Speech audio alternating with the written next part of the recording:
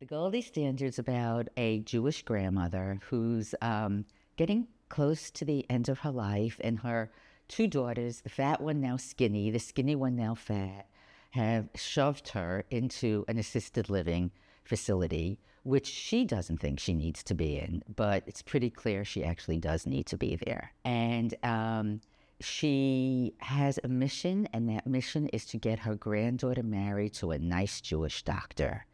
And she plots and she schemes and she figures out that the best way to do this is to make her granddaughter, who is a PhD candidate in biology, her medical advocate and get her in front of all the doctors that Goldie researches uh, to make sure they fit the criteria, the criteria being that he's Jewish.